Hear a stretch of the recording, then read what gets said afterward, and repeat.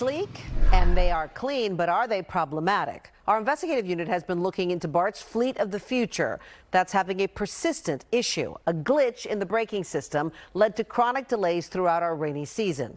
Investigative reporter Jaxon Van Derbeken tells us that same glitch could well come back with a vengeance after an earthquake.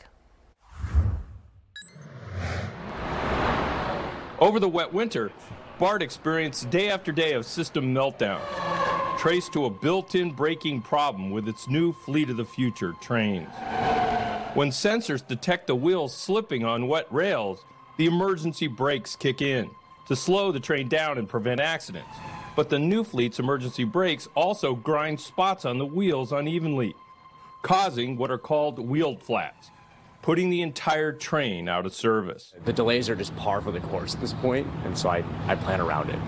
While BART says its wet weather nightmare is largely over, at least until next winter, its braking problems aren't over with. Because the emergency braking system will be called on to stop trains quickly to protect passengers in a significant earthquake. It sounds like BART has a wholesale problem.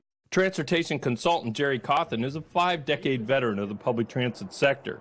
He says emergency braking shouldn't create its own emergency. You want to try to avoid that in a braking system. If they have a braking system that's got that problem, then they've got to weigh whether it makes sense to replace it. Yet stopping the trains quickly is vital to BART providing a lifeline before and after a quake. Earthquake, earthquake. To make sure, BART is relying on Shake Alert, an early warning system of hundreds of seismic sensors managed by the U.S. Geological Survey. It detects precursor P waves before anyone feels the shaking, according to USGS's Robert DeGroot. BART hopes Shake Alert will give at least 10 seconds to automatically shut down trains. Anything we can do to eke out even a fraction of a second is going to help because it will get them doing what they're doing sooner. Under Shake Alert, speeds would be cut from 70 to 27 miles an hour using automatic normal braking.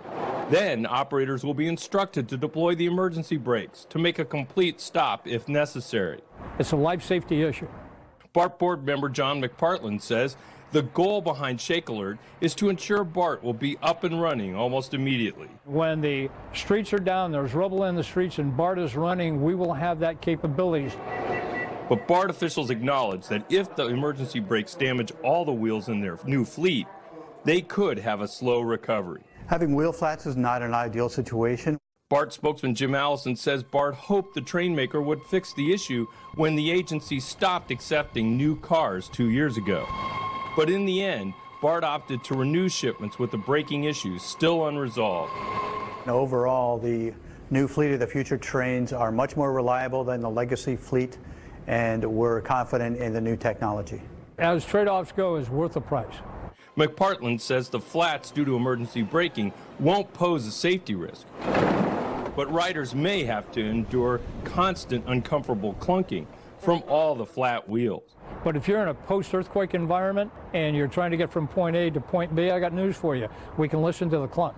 But riders will have to put up with more than just that clunking. They may well have to face a repeat of the kind of delays that happened this winter, as BART likely will have to slow speeds on its clunky trains to keep them rolling over the months it will take to repair all the wheels. Right now, new cars make up just over half of BART's fleet. The glitch will pose a bigger headache in two years when BART has phased out its old fleet, which has proven less vulnerable to damage from emergency braking. Jaxon Van Derbeken, NBC, Bay Area News. Now, if you have a story for Jaxon or anyone in our investigative unit, it's easy to contact them. You can reach them through 888-996-TIPS or you can visit our website, nbcbayarea.com slash investigations.